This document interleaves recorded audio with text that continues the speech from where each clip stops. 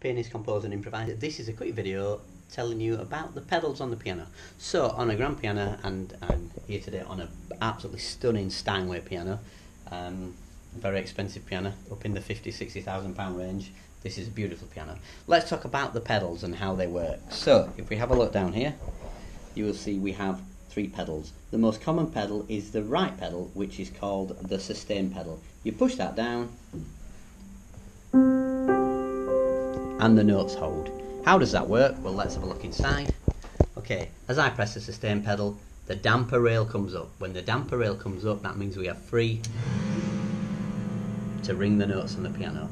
These are dampers which have little bits of felt on them. And once I bring that down, it stops. So that is the sustain pedal, okay? The sustain pedal, interestingly to note, the dampers stop up here, look, because these notes don't ring for very long, so it would be kind of pointless having the dampers there. So that's the dampers there. Once you lift them up, they make the piano resonate. Okay, let's go to the other side. Uh, the left side here, on a grand piano, is called the una corda pedal. Watch the keyboard careful, carefully. You'll see it move. Can you see that? There it is. Look inside, look at the hammers, you'll see them move. See them moving sideways? That means that when that hammer strikes, if I push it down, it hits two of the strings instead of three. So it's a slightly gentler sound. Here's a, let's just play something. Now with the una corda.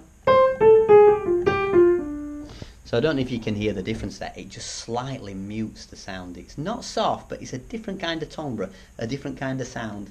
Um, and it's quite useful on certain pieces. Now, the next pedal. The middle pedal is called the sostenuto. The sostenuto pedal is the most cleverest of all because when you strike a chord, let's say I play this chord of C, if I then put that foot down, I grab those notes. Look at those dampers there, they're still up. Can you see? And that means you can achieve staccato with other notes while that's still ringing. So let's grab a chord, let's say we grab a C chord down here. So, chord down, grab it with the pedal, so I've got my foot down. The rest of the notes will not sustain, only the notes that you grab with the sostenuto.